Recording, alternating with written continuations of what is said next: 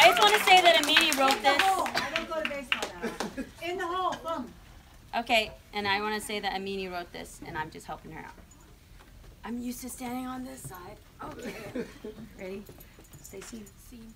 Somewhere right now. A girl stays home because education is only for her brother. Somewhere right now, a woman walks in fear to her car at night. Somewhere right now. A girl hears teen you blah blah blah like a girl.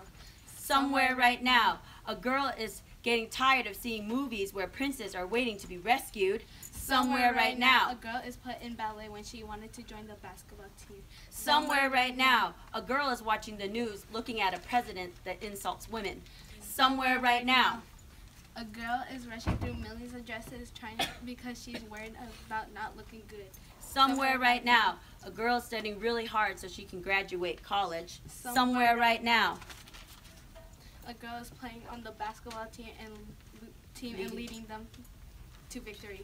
Somewhere right now, a girl is standing up for herself. Somewhere right now. a girl stands with power. Without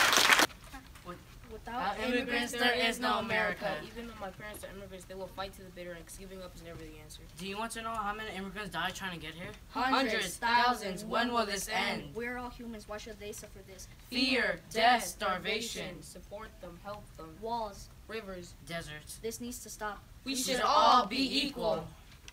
See.